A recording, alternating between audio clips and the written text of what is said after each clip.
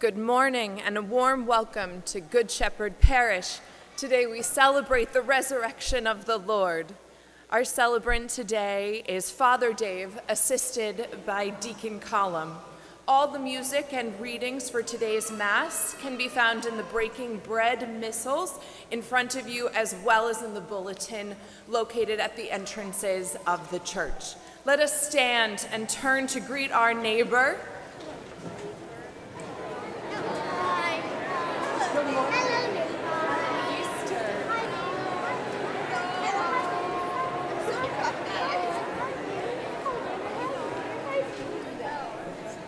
And let us join in singing our gathering song 172 Jesus Christ is risen today, 172.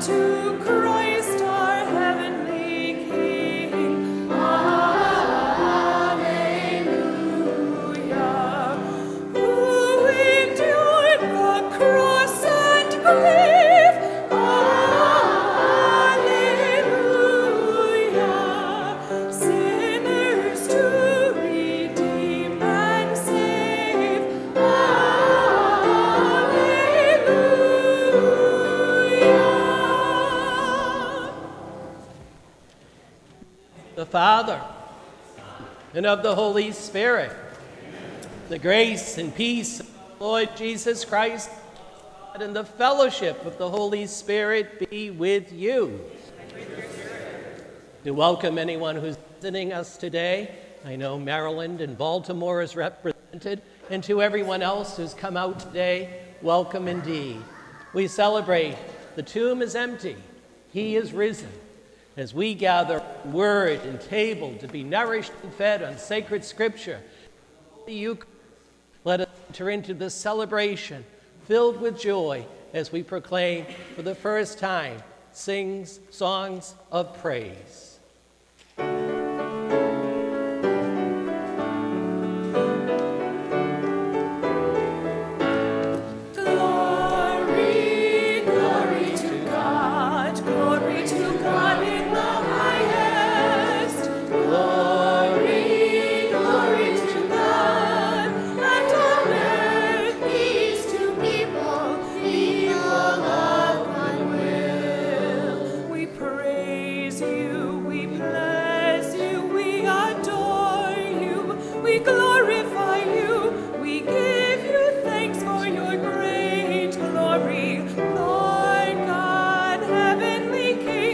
Have mercy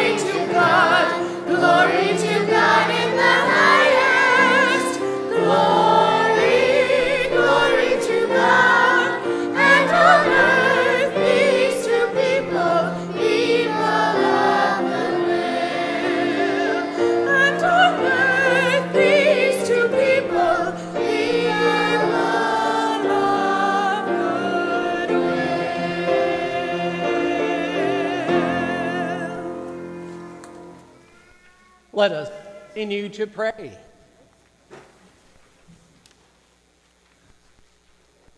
O God, who this day, through your only begotten Son, have conquered death and unlocked for us the path to eternity, grant, we pray, that we who keep the solemnity of Jesus' resurrection may, through the renewal brought by the Holy Spirit, rise up into the light of life. We pray this, Lord, Jesus the Christ, your Son, who lives and reigns with you in the unity of the Holy Spirit, one God, forever and ever. Seated for God's word.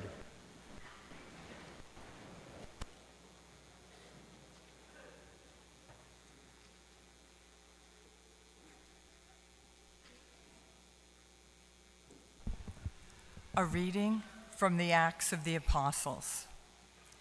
Peter proceeded to speak and said, You know what has happened all over Judea, begin, beginning in Galilee after the baptism that John preached, how God anointed Jesus of Nazareth with the Holy Spirit and power. He went about doing good and healing all those oppressed by the devil, for God was with him. We are witnesses of all that he did, both in the country of the Jews and in Jerusalem. They put him to death by hanging him on a tree. This man God raised on the third day and granted that he be visible, not to all the people, but to us, the witnesses chosen by God in advance, who ate and drank with him after he rose from the dead. He commissioned us to preach to the people and testify that he is the one appointed by God as judge of the living and the dead. To him, all the prophets bear witness that everyone who believes in him will receive forgiveness of sins through his name. The word of the Lord.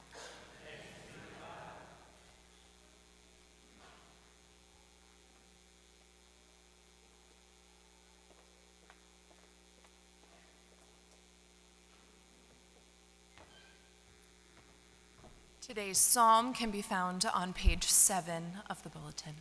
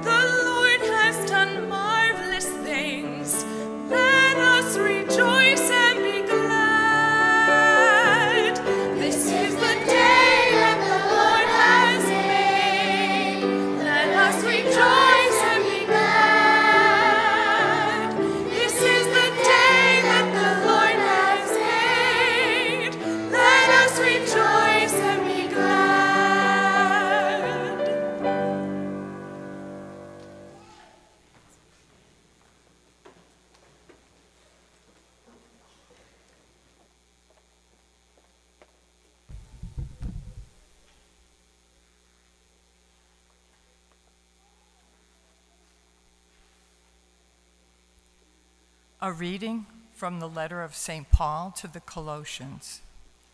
Brothers and sisters, if then you were raised with Christ, seek what is above, where Christ is seated at the right hand of God. Think of what is above, not of what is on earth.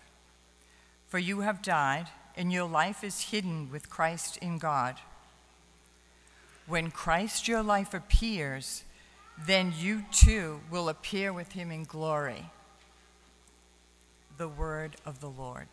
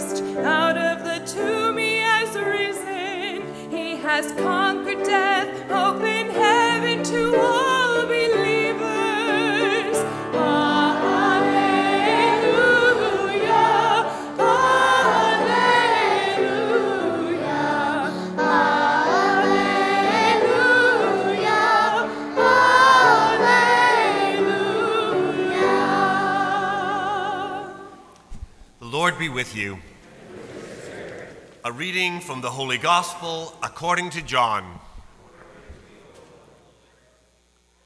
On the first day of the week, Mary of Magdala came to the tomb early in the morning, while it was still dark, and saw the stone removed from the tomb. So she ran and told Simon Peter and to the other disciple whom Jesus loved, and said to them, they have taken the Lord from the tomb, and we don't know where they have put him. So Peter and the other disciple went out and came to the tomb. They both ran. But the other disciple ran faster than Peter and arrived at the tomb first. He bent down and saw the burial cloths there, but did not go in. When Simon Peter arrived after him, he went into the tomb and saw the burial cloths there, and the cloth that had covered his head, not with the burial cloths, but rolled up in a separate place. Then the other disciple also went in, the one who had arrived at the tomb first. And he saw and believed. For they did not yet understand the scripture that he had to rise from the dead. The Gospel of the Lord.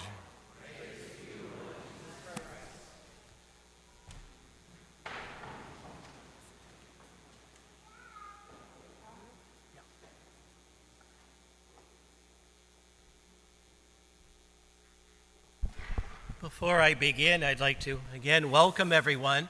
And as pastor, sometimes I'm giving special powers.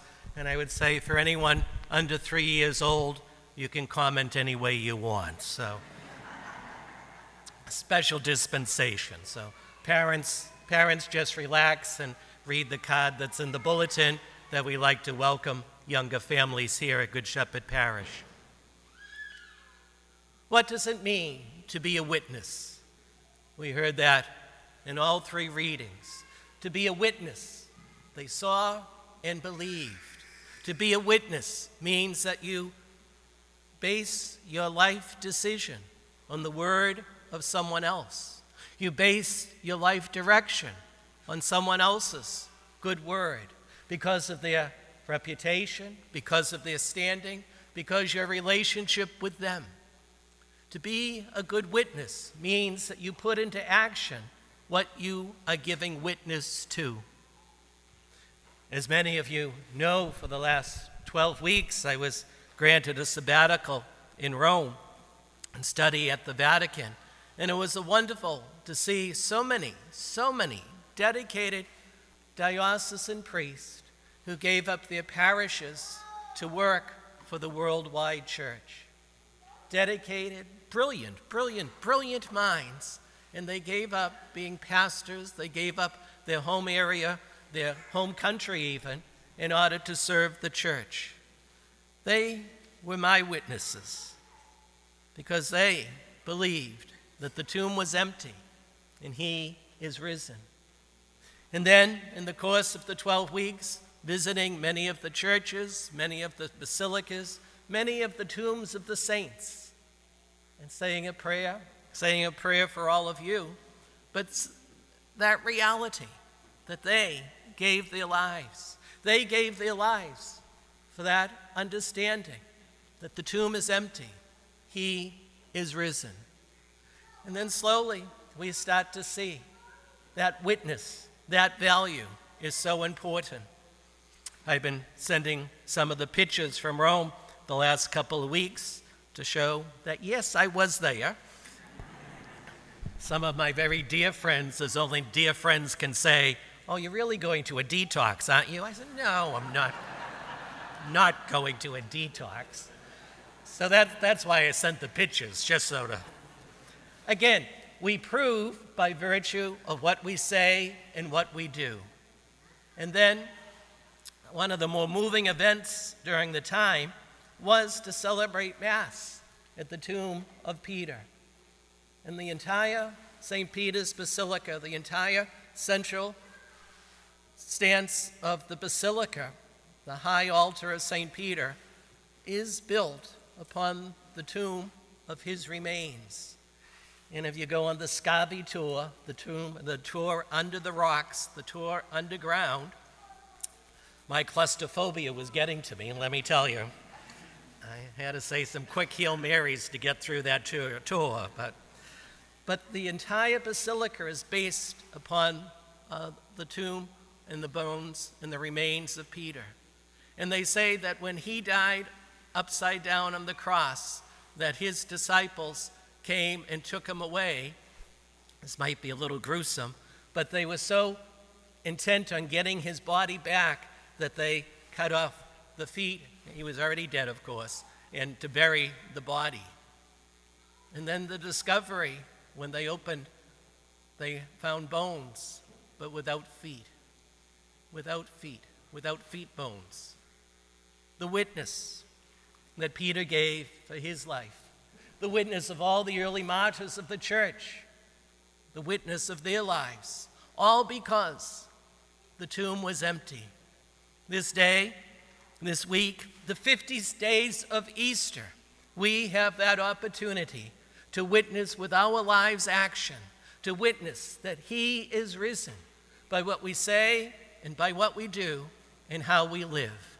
So I invite all of you as members of Good Shepherd Parish, anyone who's visiting, that this can be a new beginning for everyone to once again dedicate our lives to being a servant, to be a follower, to being a disciple, to be a witness of Jesus. All because the tomb is empty and he is risen, and people have gone before us, have believed, and let us have that same conviction to believe with our lives' actions that the tomb is empty and he is risen and Jesus is Lord.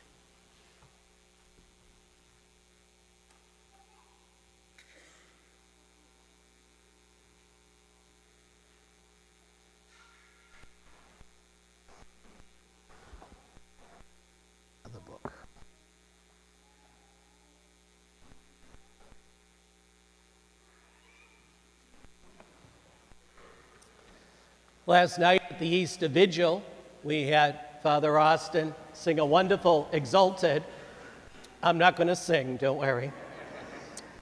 We our baptismal promises. We renew our baptismal vows. And after we do this, I'll go through and sprinkle. And so, uh, response to all of the questions. Yes, one no really fouls up things, okay? Dear friends, through the paschal mystery, we have been buried with Christ in baptism, so that we may now walk with him in newness of life. And now that our Lenten observance is concluded, let us renew our own promises of holy baptism, by which we renounce evil and promise to serve God and God's holy church. So I ask all of you do you believe in one God, Father Almighty, creator of heaven and earth? Do you believe in Jesus the Christ, his only Son, our Lord and Savior, who was born of the Virgin Mary, suffered death, was buried, rose again from the dead, and is seated at the right hand of the Father? Do you believe in the Holy Spirit, the Holy Catholic Church, the communion of saints, the forgiveness of sins, the resurrection of the body, and life everlasting? May Almighty God, our gracious God and Lord of our Lord Jesus Christ, who has given us a new birth through water and the Holy Spirit, bestow upon all of us forgiveness of our sins and keep us in God's grace in Christ our Lord until eternal life. Amen.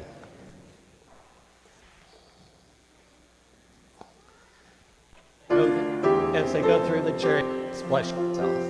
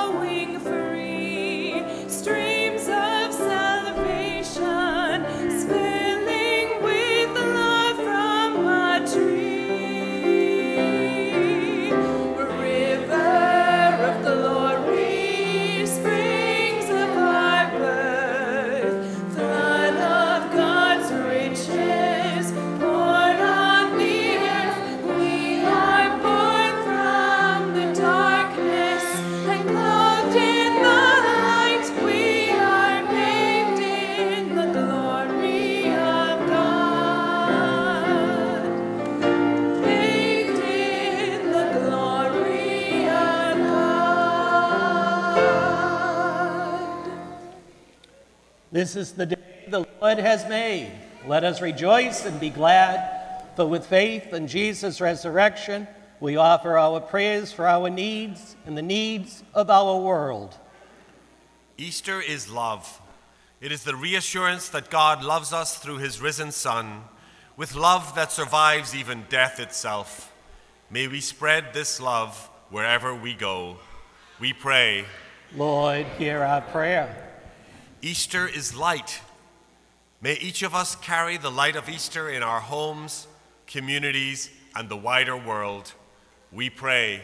Lord, hear our prayer. Easter is joy. Through his resurrection, Jesus fills us with joy and confidence in his promise of life everlasting. Let us share this joy with family and friends to whom we wish the happiness of Easter. We pray. Lord, hear our prayer. Easter is peace.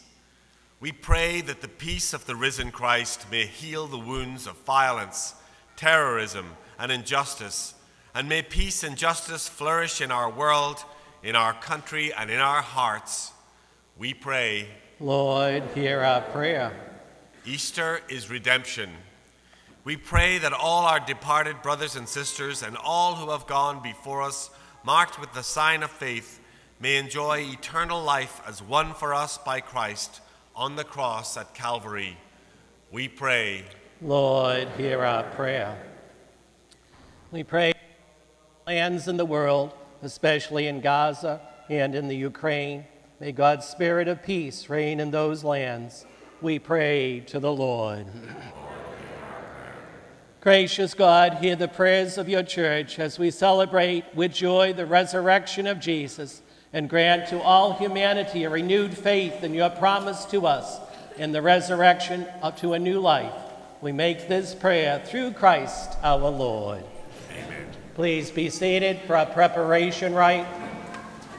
And the one collection that's taken up at Easter is for the retirement and sick needs of the priest of the Archdiocese of Boston in good standing. I thank you for your generosity to this one collection.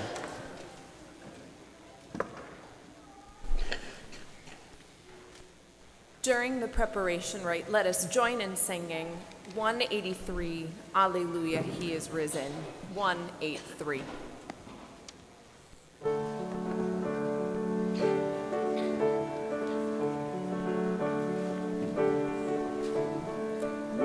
Night has turned into morning, tears of grief have turned to joy. Death has lost its dominion, now our life is hidden with Christ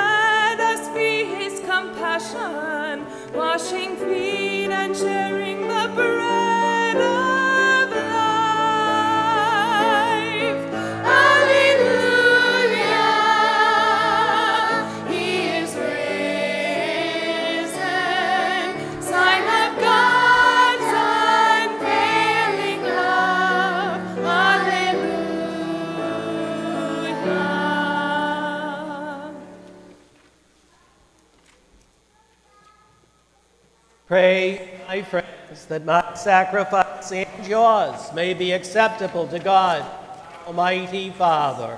May the Lord accept the sacrifice in my hands, the praise and glory of God's name, for our good and good of all God's holy church.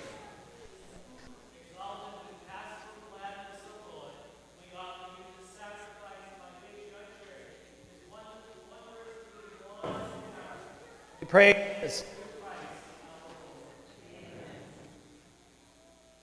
Lord, you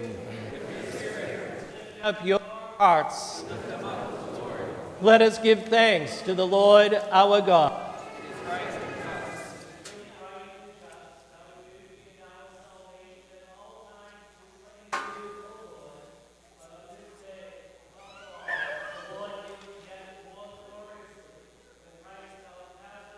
Has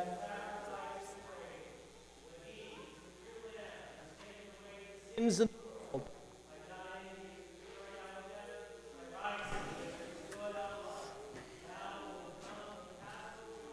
Every land, every people, with the end. Song of Praise.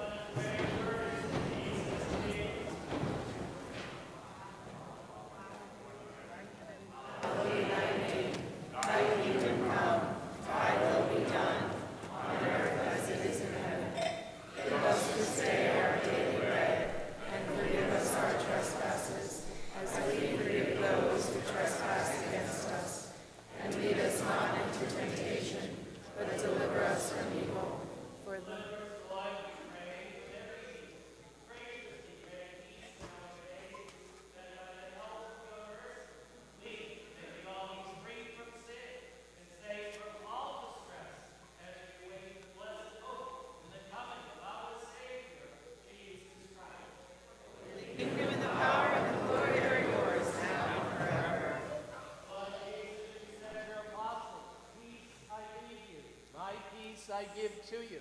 Look not on our sins, but on the faith of your church, and graciously grant her peace and unity in accordance with your will, who live and reign forever and ever. Amen. The peace of the Lord be with you.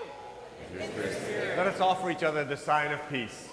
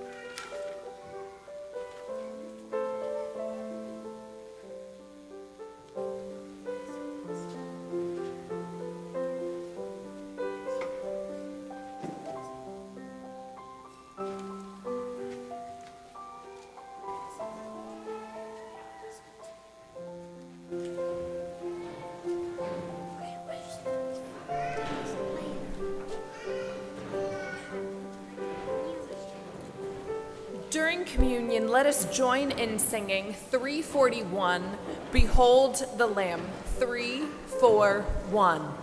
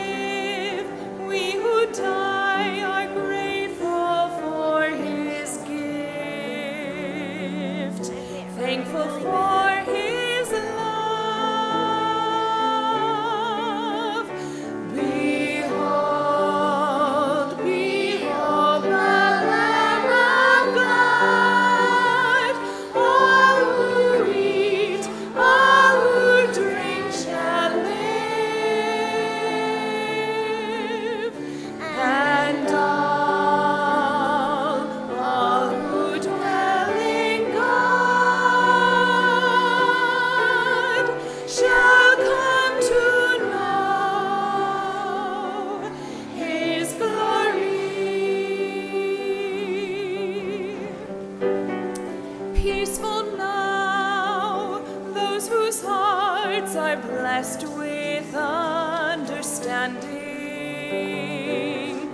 of the wheat, of the wine united with his word, and the love we share.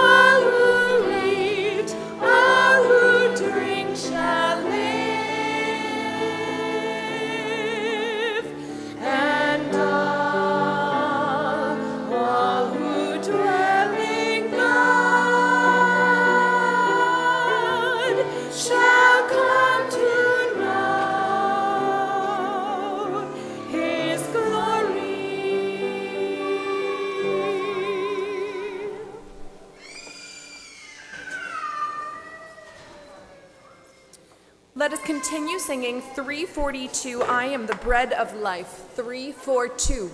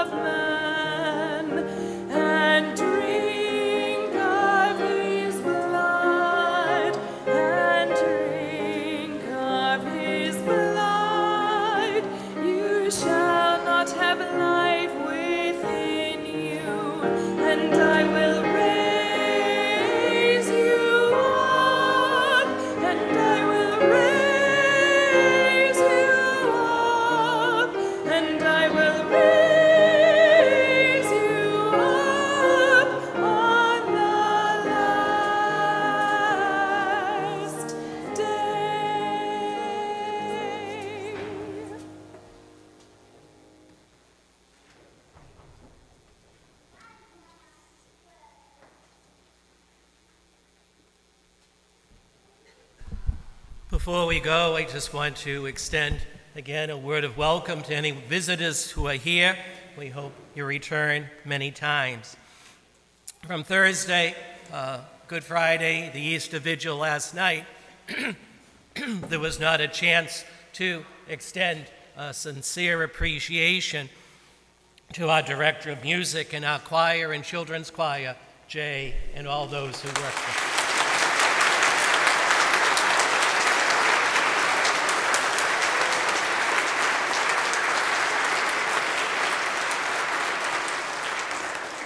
Especially at this Mass, a children's choir who gave up a lot of time for rehearsals. So thank you for being here. Yeah.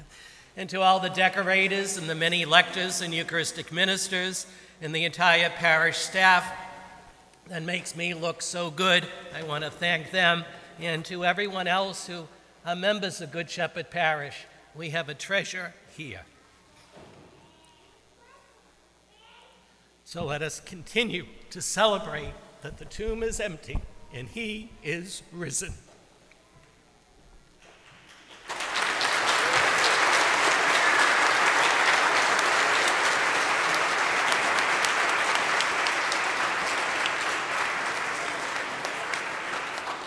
As we go forth, let us join.